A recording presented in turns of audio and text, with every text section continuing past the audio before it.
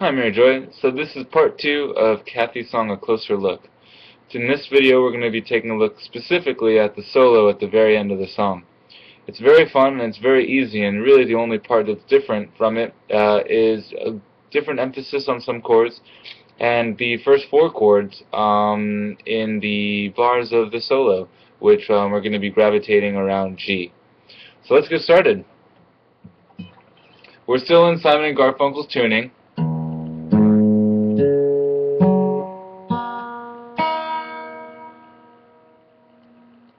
Okay, now we're all tuned up. Let's begin.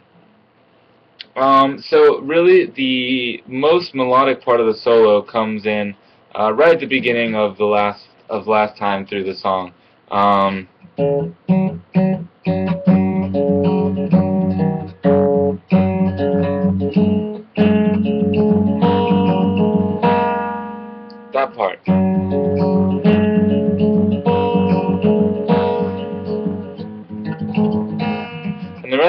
that just emphasizes the leading tones in the chords. So let's take a closer look at this pattern.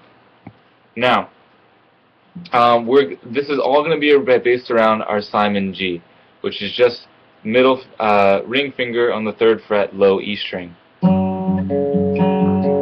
So if you see my hand here closely, so we have the thumb on quarters, and what's going on in my middle and index fingers, I'm just I'm just playing with the D and the G string, and we're gonna go G and E, E. So G and E, E, D, E, G, E, D, all open.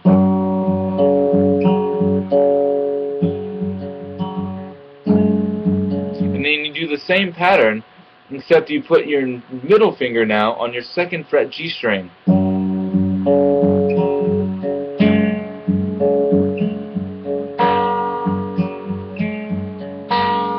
And then that last part is a little tricky, but we can get it. So, we know this.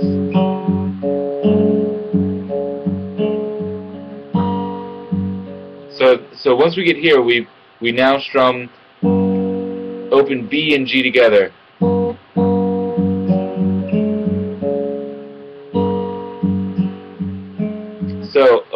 Open the E and uh, sorry E and open B, a quick E again, a quick G I should say. I'm thinking strings.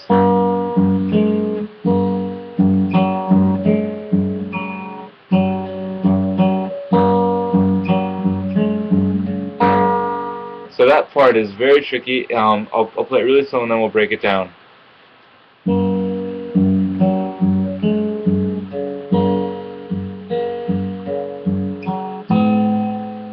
So basically what's going on is we have open uh, B and our G note on our low E. So I'm going to talk, I'm going to talk strings now, since the only string that we're holding down is on our G string. So open B and uh, E string, low E.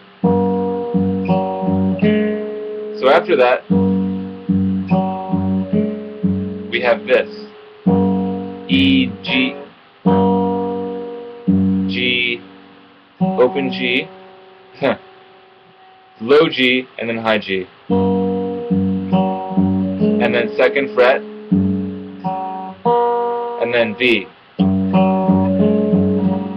it's it's this uh, back and forth motion between the thumb and your middle finger.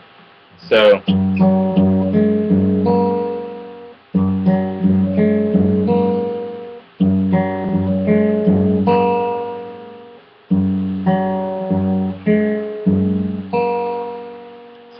so far.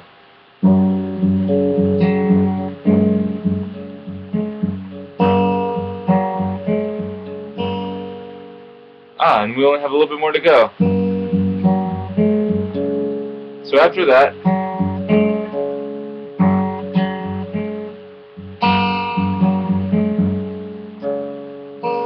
we only have two more notes, which is index finger on open D, and then middle finger on open B.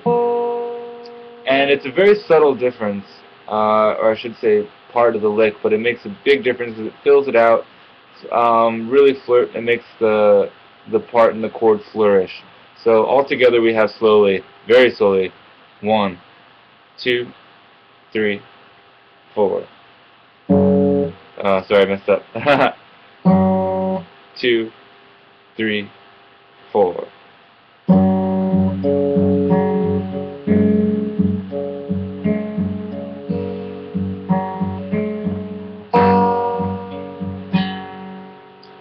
Have one last, one last D G, uh, E D G. I should say E D E G. String wise. And both those open strings uh, are D and G. I don't have any frets down.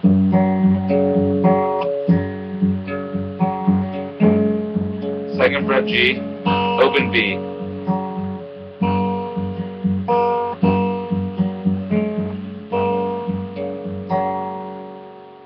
then we have basically the same thing, emphasizing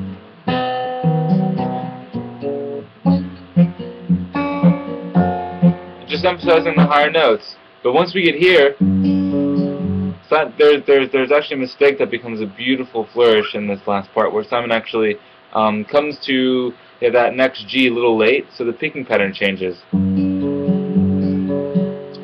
We actually only do the second part of our main picking pattern, so it would just be thumb, index, thumb, index, thumb, pointer. Sorry, thumb, middle, thumb, pointer.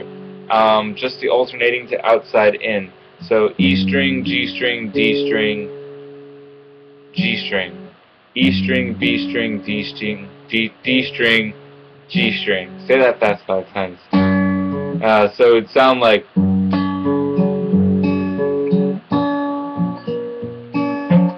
and then it goes on to be the same. Again, emphasize that higher one. Come back. Now when we get here, it's the same uh, dip, different variation uh, of that uh, picking pattern that we went over in the last video for a closer look, which is uh, the alternating uh, on the pedal of D. So uh, string-wise, it would be thumb, thumb open D, index, second fret G, and well, our our hand is in a basic D chord, so I'm not going to tell you uh, the fingerings because we already know this. Um, so just string-wise and finger-wise, it's thumb on uh, thumb on D, index on G, thumb on D, middle on E, thumb on D, middle on B, thumb on D, index on G, and then thumb on B. Actually, we end with the index on G. We don't have an an, an extra uh, thumb on D after that.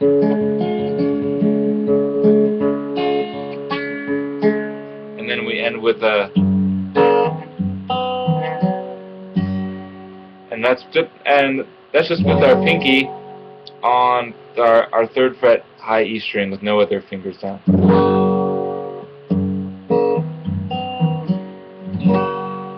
So half of that intro, and then a strum all the way through, no chords left untouched. Actually, no, omit the A string. Cool. So I hope this helps. Um, and this is a great song for us to be doing. Um, and uh, there's a lot to pick out from here, no pun intended.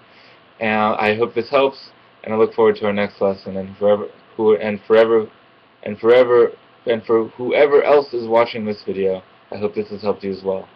Thank you. Take care and have a great day.